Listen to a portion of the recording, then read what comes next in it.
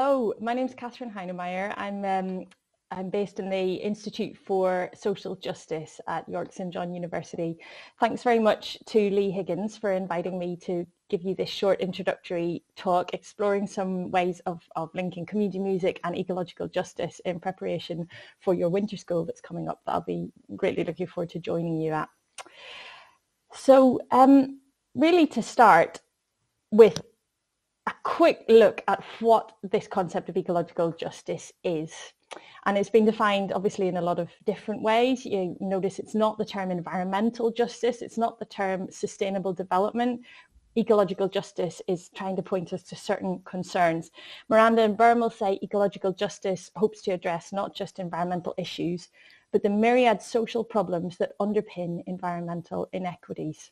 So what we're looking at is how climate change and ecological degradation are multiplying existing inequalities, existing challenges and oppressions that people are facing in their lives. You might have seen some kind of version of this, um, this drawing or this metaphor um, expressing the idea that we're all in the same storm of climate change, of, of ecological crisis, climate crisis, but we're in different boats. Some of us are in uh, great big comfortable yachts. Others are in huge well-defended destroyers with the power to exclude others from them. Others are um, struggling and being buffeted by the waves in tiny little sailing boats and canoes. And um, so that's what ecological justice, to my mind, is looking at. And in my experience so far working with ecological justice in um, my own practice, which primarily I'm a storyteller, um, although I'm also a musician and I've quite a lot of uh, experience in community music settings myself, um, putting this concept of ecological justice into practice in also in research actually leads to quite simple questions that are easy for people to wrap their heads around. For example, who is suffering first and worst the impacts of climate change or climate degradation or environmental degradation. And what can we learn from these frontline communities? How are they adapting? How are they coping? How are they developing strategies for resilience? How do we support people and ecosystems to adapt? And how can our climate solutions or our environmental solutions tackle both the social and environmental facets of the problem at the same time? And how do our arts practices feed into those processes? So just to say something briefly about climate change and community arts, and actually not just community arts, I would say a lot of theatre, a lot of uh, musical practice seeking to engage with the idea of, of, particularly the climate crisis, but also the environmental crisis. And actually, I think uh, theatre's more guilty or more more struggling than music with with what I'm about to lay out, and that is um, something that might be familiar to a lot of you. The idea that climate crisis is the quintessential hyper object, and hyper object is Timothy Morton's uh, coinage in this book, um, Philosophy and Ecology After the End of the World. And hyper object to Timothy Morton is something that is an entity of such vast temporal and spatial dimensions that it defeats traditional ideas about what a thing is in the first place. So the metaphor in the front cover there of the iceberg, um, it's already huge on the surface. And when we go underneath the surface, it's an immeasurably vast object that's reaching out into many areas of the sea and it's it's shaping the lives of sea and land creatures all around it. They're super complex global phenomena which interact with every other feature of human existence. And this means they're everywhere in everyone's lives. Climate change is everywhere in everyone's lives, but it makes it very hard to pin down. It makes it intrinsically unbounded. So Perpetua uh, Kirby and um, her colleague, somebody Webb, first name temporarily escaping me, um, looked at how education, for example, is engaging with climate change and how it's struggling with its very unbounded nature.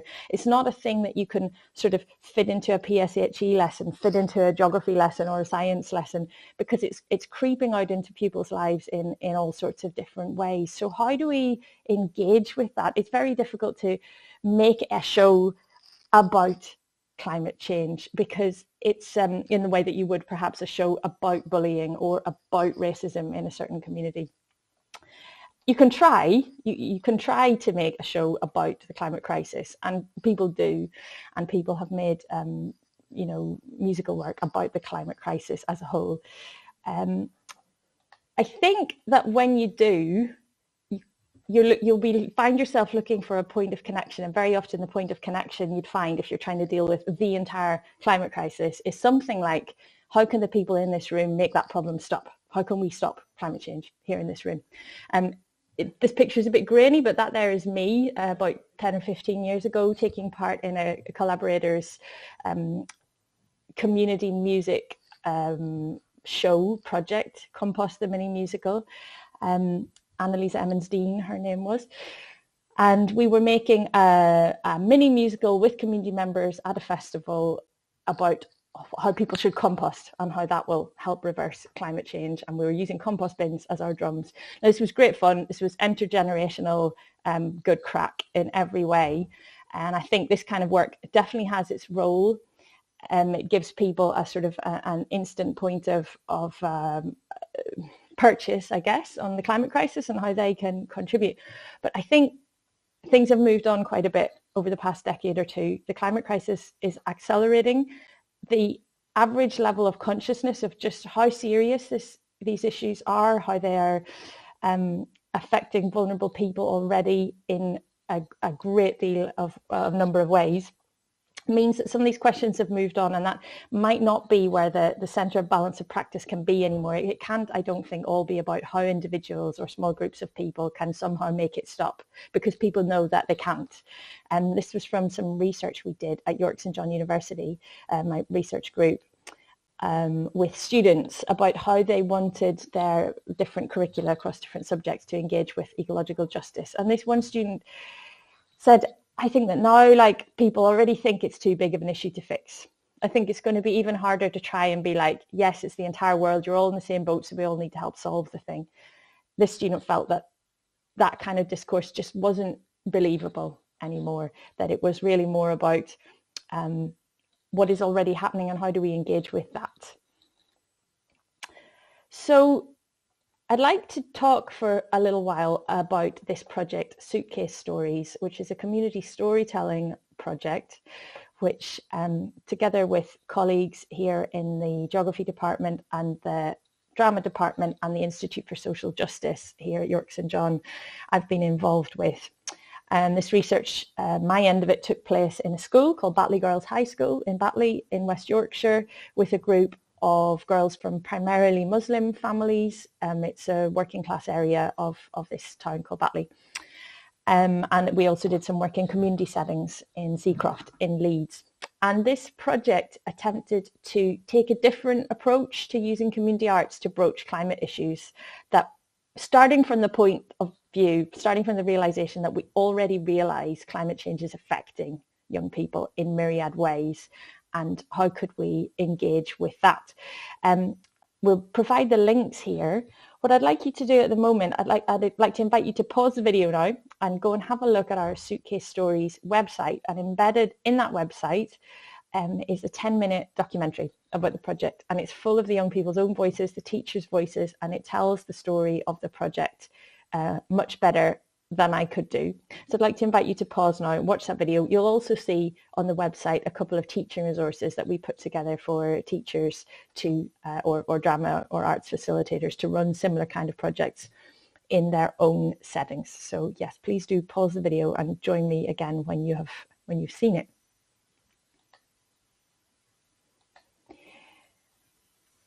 So as you'll have seen in that video, what we did was we started by exploring the issue of, of climate adaptation with young people. How the questions, how who is suffering, who is already experiencing the worst impacts of climate change, how, how are they adapting and how can we learn from that? And from there we went to stories and we went to the, the young people hearing and, and interacting with first-hand stories from Nigerian young people, from a climate journalist, um, from our own uh, geographer expert Olalekan Adekola, uh, who is himself from Nigeria, from their own community, and then creating, based on what they'd learned, their own stories that, that started to work out possible solutions or work out possible futures or possible adaptations. And um, once they'd kind of established that real connection to how is climate change affecting them in their lives. So I want to uh, just go back to Kirby and Webb for a moment because what they advise, they're, they're working in an educational setting. They advise teachers to resist, in relation to climate change, to resist the temptation to offer young people pat solutions, easy solutions, or, you know, go and compost and, and switch off the lights and recycle and everything will be fine. Resist that temptation. Rather, make space for dissensus, for the opposite of consensus, for lots of opposing views, lots of different experiences to find voice in classrooms. Be ready for to have those difficult conversations. To, I've highlighted this in, for a reason you'll see in a minute, to explore the diverse ways in which young people's lives intersect with the climate crisis. Explore that with them and to be comfortable with your own uncertainty around climate crisis, your own complex emotions as an educator or as a music facilitator. So if we're going to start from the idea of exploring all the connections between climate crisis, ecological crisis and and our participants' lives. I've done a little mapping exercise here. What are some of the relationships between those Batley young people and the climate crisis, ecological degradation? Well, there are many. They're experiencing rising food prices for reasons that are at least half to do with climate change and scarcity, um, drought, uh, water, soil degradation in different countries. That's going to be a major stress on their families this, this, this year particularly. A lot of global and local economic uncertainty also linked in many ways to ecological degradation. They express that in terms of the shops closing down in their area, of there not being a lot of jobs in their area, um, of them not being sure what they might be able to go on to after they leave school. They talked a lot about the lack of green spaces, the fact that those there were were not very well loved, were very surveilled, they didn't feel very free in them they talked about temperature extremes. They'd all experienced flooding, or their relatives had in Batley. Um, they'd experienced a very hot summer the year that we were working with them. And this winter, they'll experience a very cold winter, and a lot of them in cold houses because of the fuel price rises. A lot of them had relatives in Pakistan or Africa and in some cases Australia, and they had a lot of anxiety about what those uh, relatives would be experiencing in, in, because of the climate crisis. And that came out in sort of participatory drama games we did based on mapping. Um, in terms of religion and cultural identity, a lot of them expressed those, the, the mosque and the cultural centre as being real centres of community resilience where people look after each other and where people could help each other get through stuff. They talked about how the, the mosque had helped people after the floods.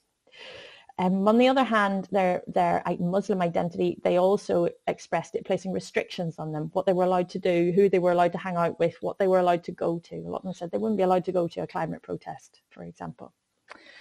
Many of the girls frequently expressed I would say climate grief or, or anxiety about particularly about wildlife and special ecosystems that they had seen on TV or they'd read about um, or that their relatives had been to, but they felt they might never get to see in a in an intact form. So you, it's a hyper object. It's intersecting with their lives in numerous, numerous ways. And this was really evident when they started brainstorming questions they wanted to ask the Nigerian pupils they were linking with remotely. And um, this is the, the mapping of one group. Look, it's they were asked, what questions do you want to ask these, these kids your age in relation to uh, the environmental climate crisis? And they came up with such a range of things and they're not just what you'd think. It's not just about uh, how do you deal with the warm and how is the government tackling the flooding. It's also how do you keep cool? Do you do school trips? Are there crimes in your area? For these girls, it was quite obvious that security and environmental concerns were linked. Do you get lost in the rainforests? So I'd, I'd like to invite you to pause again and do this kind of mapping exercise for the community group that you work with. What, what are the ways that the people in the room that you're making music with, how are their lives already intersecting with the climate crisis, with um, with ecological crisis. So um, when you've done that, back to suitcase stories, we then started with those connections and then we provided containers. And the containers we provided for those, for all that range of feelings and connections was stories.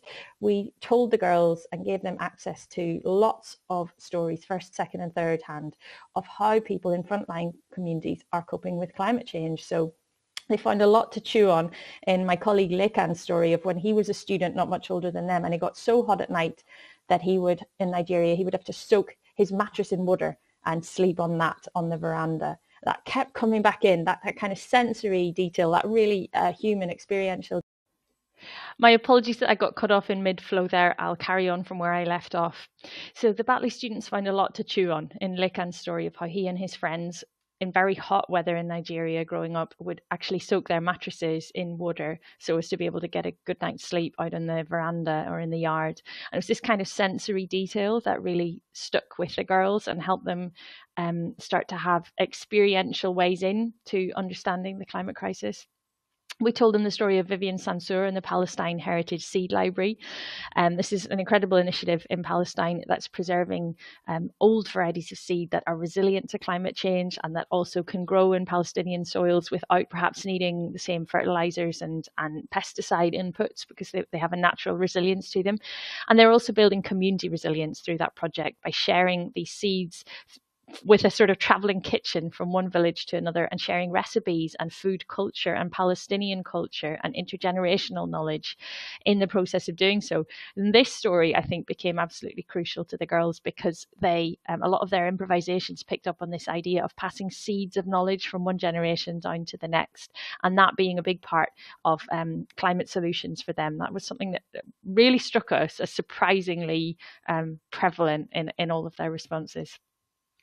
We told them the true story of Hindou Oumarou Ibrahim and the women of Lake Chad who are having to cope as Lake Chad uh, desiccates and shrinks and the area around it desertifies, and how, again, Indigenous knowledge, um, led primarily by women while their husbands are often away looking for work elsewhere, is a big part of the answer. So, in so doing, in looking at, at how global majority cultures are meeting the climate crisis, the girls gained curiosity about how their own home cultures were also creating um, solutions or contained the seeds of solutions.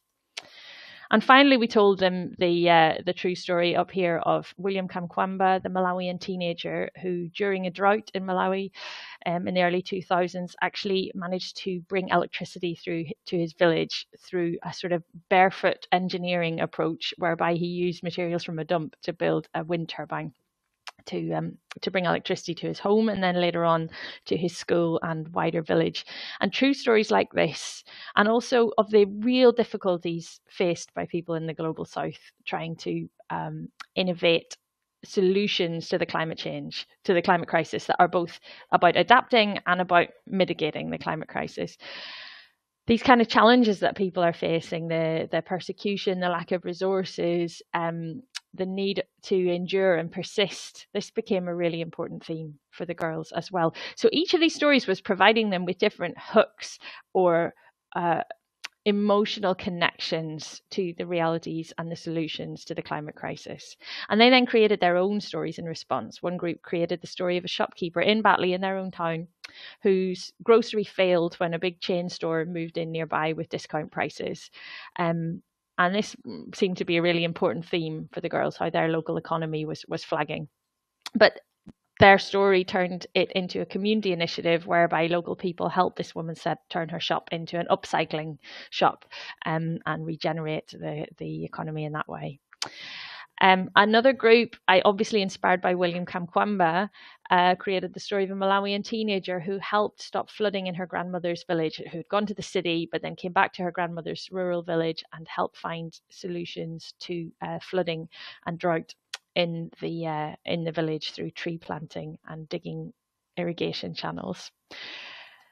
So again, you could there was a sense of the of the girls working out solutions, playing them forward, using the stories they heard as as research materials. And then finally, there was um, a story of a Brazilian indigenous girl who became a poet to express her grief and her anger at the way her forest home was being decimated. Because not all of these solutions were practical solutions. Some of them were emotional responses. Some of them were ways that they could, as storytellers, as musicians, as communicators, as that they could bring their voices and contribute in that way to the crisis. So that was our example with suitcase stories. I just want to talk you through another example, and this was the reading that I suggested you might want to have a look at, the Grant 2019, which is about Vanuatu coastal communities. So I map the connections between Batley Girls and the climate crisis. This is a, a music, explicitly music linked example where Vanuatu coastal communities are suffering ecological injustices in various ways. These are some of their connections. Their cultural knowledge is very threatened. The, the, the transfer, the passing on of their cultural knowledge and their culture is being very threatened by the changes brought about by the climate crisis. Um, as their as their economy is is restructured, as people can't afford to live in the ways that they used to live, their incomes are fragile because um, the fish stocks are uh, are vulnerable, and they're excluded from national and global policy because they are indigenous people on on the remote edges of the global economy. So how can we map then how their how community music can help connect can can make concrete these connections between um, this particular community and the climate crisis, the ecological crisis. Well, on the cultural knowledge front, community music, the water music of Etitung, where the women bash, you know, um, use the surface of the water, the surface tension of the water as a drum. It's called Etitung. It's being used as a way of maintaining and transmitting cultural knowledge. On another level, it's also providing um, income generation because people, uh, tourists, are coming to watch people and learn from people how to do Etitung, how to play this music. And thirdly, Etitung performances are giving Vanuatu communities a voice in climate discourses. They're creating particular performances, special performances that uh, express their cultural knowledge about the climate crisis and their demands in relation to the climate crisis. So, another mapping for you there. And really, my final thought is that community arts, what it can do better than anything else is provide a container, provide containers for people's complex issues, emotional responses, and anxieties or fears about an issue and hopes about an issue. Um, the great, great storyteller Ursula Le Guin talked of stories as gourds. She says stories have tended to be considered like a spear, like something long and thin that goes from a problem at the beginning to a solution at the end in a straight line. And that's uh, for her a quite masculine, even a quite warlike image. She says, let's instead think about stories as gourds, as containers. They can contain water or food, or they can contain what we've gathered. Well, maybe they can be containers for ideas. And she says, I would go so far as to say that the natural, proper, fitting shape of the novel might be that of a sack or a bag. A book holds words. Words hold things, they bear meanings. A novel is a medicine bundle holding things in a particular powerful relation to one another and to us. So I guess that's my my question to you. Our container in the Suitcase Stories project was the suitcase, but you can provide musical gourds for your participants um, as uh, as the Etitung becomes in that grant article. And in a sense, your case study is um, is this zero waste library, this uh, very sustainable library. Well, a library is in a sense already a container, and a book is already a container for ideas. Several of the stories I mentioned that we provided to the uh, young people in the Suitcase Stories project involved books and and um, and libraries. In fact, William Kamkwamba went to his local library to find an engineering textbook which had a picture of a windmill, and that's what enabled him to um, make his windmill. And the Palestine Heritage, Palestine Heritage Seed Library is a library. So with this library, it's already a container. What can you bring into it? So I guess really to sum up my my uh, two stage model for working in community arts with the climate crisis, one that I'm working with, experimenting with in my own mind anyway, is first of all to map the existing connections of this community to the climate and ecological crisis and to ecological justice. And then it's to choose a starting point on that map. Where are we going to start to to uh, to explore? And then it's to provide a container for that exploration, a metaphor, a device, a suitcase, a gourd, a way of making music together. So I really look forward to taking part in your discussions on what those connections are and what those containers could be. There are some references for you.